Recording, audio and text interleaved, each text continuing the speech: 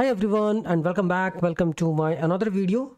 And in this video, we are going to talk about Nest.js microservices.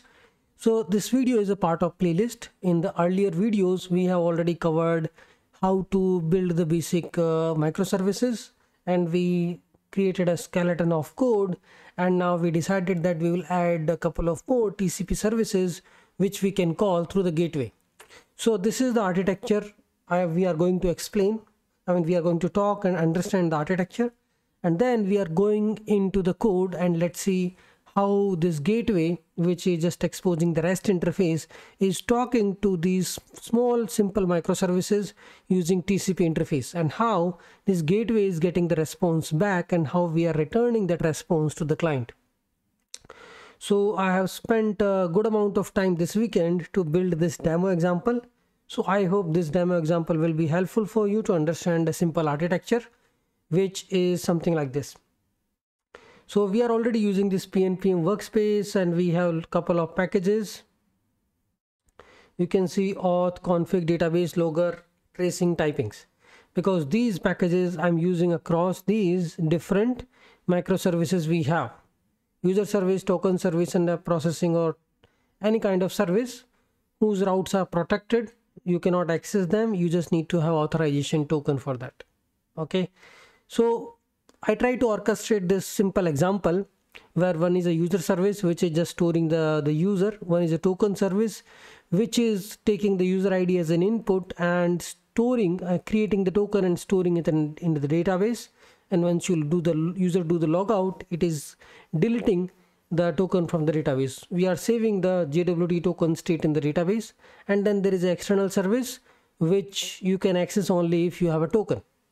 And these are you can say monorepo packages which are added to all these services. The important part is how we write the gateway. So gateway is simple. Gateway is just a controller a rest api controller okay? And then uh, this gateway has these simple simple tcp clients those tcp clients are nothing but injectable services. Using this we are able to call the user service token service and the processing service or whatever. So we need to just create these token clients which we already had, created in the last video. Now we will just work on the changes and i will explain whatever i have done. I mean there are many file changes 102 a very big changes right Uh, i also introduced docker because now we are going to store the data. So we do have these two docker containers service user service token. And these are the the ports 5440 5439 and when you do docker compose up both of these containers will be running with the the database and you can connect to these databases using the username password and this port okay? Now what are these? These all are the postgres applications one is the gateway another is the two tcp based services. Okay gateway has a simple controller. Now let's talk into talk in terms of code what we are talking here. So it will it is having simple rest api nest.js controller. Controller has a simple get put post patch delete methods. And then inside a controller you have injected these uh, clients these tcp clients tcp client proxies which we need to add so first of all what i did is now we do have a lot of things inside our configurations. I updated the config package. So here you can see config default uh, config service. And this is my config interface. We do have two external services user service and the token service. These are the two TCP based services. And you can see here user service and token service. This is how we can populate the values from the process.env user service host and port because we need to know on which host and port these these small uh, TCP based services are running and what is the transport mode. It's a TCP it's a Kafka it's you can see all the different options. gRPC Kafka MQTT NATS Redis RMQ and TCP right now we are talking about TCP here you can add another service and this config module we are using in all the packages. So these and these are all the other values. Env port uh, database because we are using postgres database to store some data. Swagger auth authentication we are using auth to auth auth configurations to generate a token. So we just need a access token secret. And while decoding we are using the same secret token to verify if the token is valid right so this is a config module which i have added and another most important thing is i have updated the package definitions. Now we have moved to nestjs 9.x because i was having some issues struggled a little bit. Then i thought of upgrading eh, everything to 9.x including the type orm and nestjs type orm which are compatible with the nestjs 9.x rest we have these dependencies which has been added nestjs config nestjs database on mostly all the packages. So when i go to the nx i can see all the magic happening here. I can do all the build command. So you can see common nx commands run many build target build command. So let's say i want to build all the applications together because now all the applications are healthy so all the packages and all the applications will be will be we will be able to build successfully without any error. So i will also commit this code. And then we just need to start auth service uh, gateway and the token service to play with this simple demo. Okay? Now this http gateway. What this http gateway is doing? It has a simple tcp client you can see service and we'll go to first combine main.ts it's a simple setup right? And here in the app module you can see we are using two services token service and user service. And this is how we are adding the token we are how this is how we are creating a token proxy client and user proxy client. Config service is already external coming from external module and this is how you can register a particular provider right? So now what i will do is i will inject token service and user service inside my controllers. So i'm using a config service. I got all the config service options. These options are nothing but host port and the transport. This is my token service. This is my user service. And this is my auth guard. We will see what auth guard is doing okay so this is my user controller. Controller is important because here we are injecting both the uh, providers user service and the token service. And now what you will do is you can access the user service uh, instance and then access the methods defined there. So what you can do is you can so this is a tcp based right? So here we are going to let's say i want to emit i want to send an action or i wanted to call the tcp based microservice in, a normal http world what we will do is okay this is http microservice this is http what we will do is axios.get put post patch delete. Here we already know user service url what we will do is uh, simply fetch or request module or axios axios.get put post of this user service url and send the payload whatever authorization token and all you will set. But that doesn't work with the nest.js tcp based services in the it how it works is it creates a client and then inside a client you can just call this dot client dot send and then you need to pass the command you are sending to the TCP microservice user get by ID. Now the receiver service. First of all how we are registering this uh, service? User service. We have registered it in the app module. Okay this is my user service. This is running on running on this host port host and port and the transport is TCP this we have already registered because this we are going to get from the env and to populate the process.env what I did is I'm importing .env configs. And in env.example if you see this I will also create env.example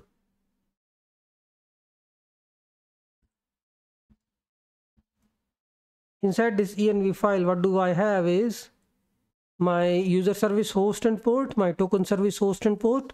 We will talk about these two external services i mean two uh, nest.js microservices based on tcp this is their host and this is the port.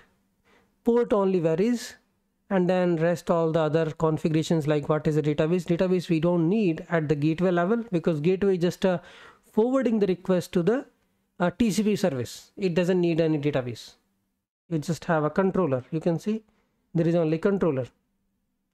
So get user by id so this is how you will forward the the request and you can send some data. So i'm sending a user info.id so i know like uh, this call we can make only when user is already logged in. User you will be passing the token so i will already have the user id so how we define this? Because what you do is you are just creating a client object client proxy and then dot send the method name which you want to execute. And these methods would be defined at the target TCP service. So get user by ID this is user service. And here this is how we define the controllers. Now when you expose this as a TCP service running on some host and port some source service will hit will call dot send. This is the the uh, this is the message name and the payload. So this is how we define the message pattern so that okay uh, from the source if i'm sending a i'm doing a dot send user get by id so it knows okay in the target tcp service i need to execute this method. I'm getting a user id as input. That's it. And then obviously you have a database you just read the data and send the result something like this. I mean the result format you can decide. Here i'm sending a status code message and the payload. Okay? Now if we go to the source service i will get the data. And this data we can use this rxjs uh, operator first value from because it may we are just treating this response as an observable and we just need to fetch the first value which is coming from this api call. This dot send method internally is also calling that tcp service but it's not plain http call where you can use axios and all. So this is internally happening. Similarly uh, you will also send a message to the redis. There is a redis subscriber and then you you are a publisher to the redis and then there will be a listener or subscriber that will listen to those events. Similarly you can send a event pattern message pattern. So this is a message pattern. Get user by id here you can see get user by id message pattern. Similarly there is something called event pattern. When we need it we want we want that when we are using kafka rmqs rabbitmqs and all because the events the messages are asynchronous. Currently all these events are synchronous. Source http gateway is sending a request to the tcp this is purely synchronous. Means when you are sending a request i'm expecting a reply back from this tcp service. You need to return some data that i'm collecting in this controller user response and then I'm sending it back to the front end client or whoever is calling this service. So this is a simple architecture how you do this. You create the clients, token service client and user service client and inside a controller because it's just like a gateway we have a single controller we have defined couple of methods you inject them and then using client proxy dot uh, send you send the command. I mean i will not use the command word. These are you are just sending a synchronous actions to the tcp service. And these are the labels which will define what all actions your tcp service can handle. Because this action is already defined in the tcp service. Get user by id similarly there are other actions user create. And other actions is user login. I mean search user by credentials where you will pass the email and password and we will check if this user service has the user with this password and email. Yes. If yes create the token by calling the token service and passing the user id so to call any external service what you need? These three lines of code. First value from user client service dot send user client service dot send here is a token service client dot send your action name and this is the payload right? When you are sending this type of payload here you can also see that there is a login request payload you are sending. So where can I find this uh, command? We'll go to the user service and go to the controller. And you can see we are we are sending these two as a object so these things are already handled. How whatever you are sending either a variable or payload you can get the variable and values here. And then once you receive the value you will check okay email passwords are correct. I will send you the the whole user object in the response. So similarly there is a token service. So how we are doing is this is the gateway. Gateway just have a controller. And inside using controller we are calling these couple of methods. First of all get user by id first is user create. So user create also we are sending this uh, action to the user service. And we are sending the email and password or whatever the cre credentials we are getting for user sign up we are sending all of that. And then once the user is created we are sending the response created 201 otherwise we, there may be a, another status message for any kind of bad request or exception. If everything is good we will uh, we will send the response otherwise we will throw an exception. Okay? A simple demo. I mean this is like a simple apis we have written. Get user by get users login and um, create user. Sign in sign up and just a get user.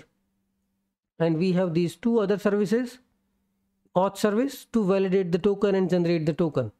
Here also if you look into token controller I do have this simple method token create. And now who is going to call this? Gateway is going to call token create. And it will what it is doing it is it is creating a token. I have a nest.js JWT module here registered. So i'm going to create a token with this particular secret. And obviously we are using database module which we have created database module dot for root. We have a token entity and type module dot for feature token entity. So i can access this token entity repository in my services. Okay there is a token controller.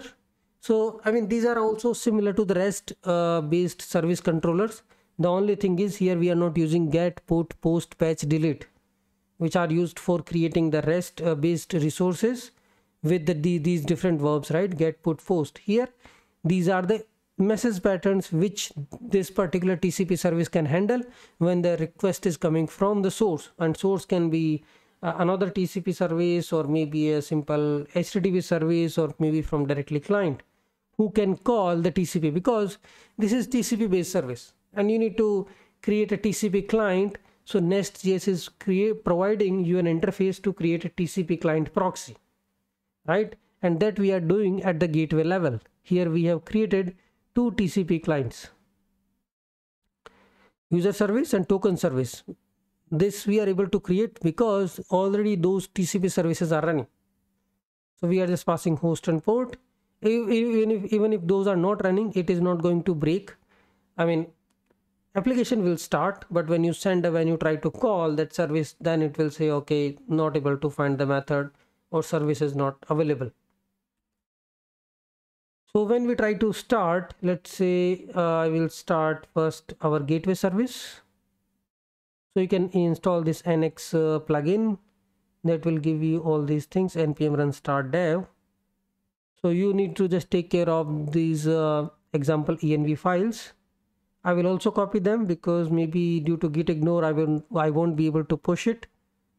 So this is env.example.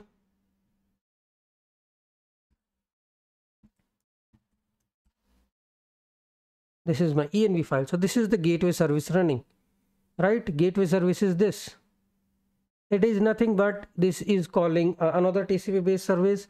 This is calling TCP based service and this is also calling both the TCP based service. First it is matching the credential that is there in the user service and then it is generating token through the token service. So there are two TCP based microservice. One is just to authenticate because this is for demo. So I created a token service which is doing nothing but taking the user ID and creating a token and saving that in the database. So if I try to do user, so uh, we can also start other services and let's try to understand the user create flow so from nx console gateway you auth service start dev user service start dev. So this way i can just start all my services. And we are using type orm module with postgres. So we will try to see what is happening. So user sign up user sign up doesn't need any kind of uh, token because this is public API demo at the rate gmail.com and the password is demo demo. So i'm able to create a user right? So what actually is happening? From this gateway you made a call right? And this call will be going to these services.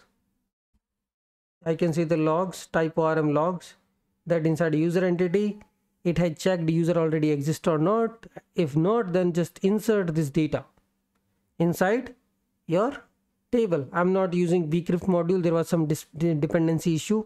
So i'm just storing the plain password but obviously i won't be committing this. I will just add a bcrypt module and then you can just use a bcrypt.compare and bcrypt.hash to store the hash value and compare the password with the original string okay so this is my simple commands.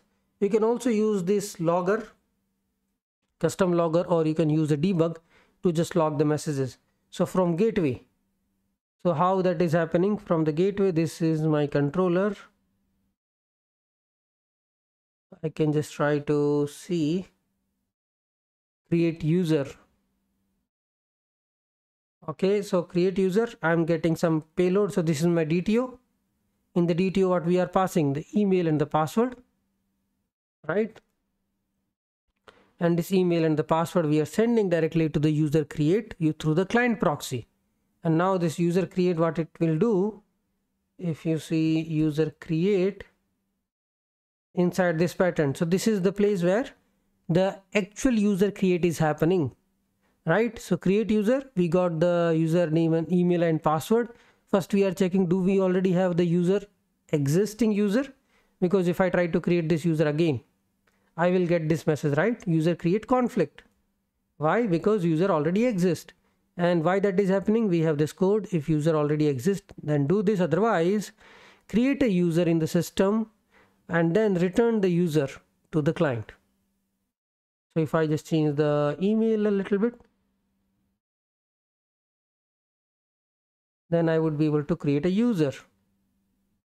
Right? So this is how so from this API gateway it made a call to this user service. I mean token service there is no uh, no role of token service here. So there is no logs coming there.